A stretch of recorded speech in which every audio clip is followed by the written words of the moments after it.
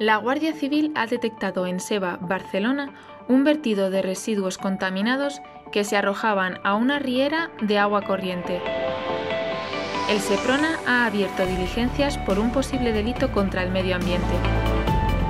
Los vertidos se arrojaban mediante una canalización parcialmente soterrada a través de una bomba de succión introducida en una balsa de lixiviados.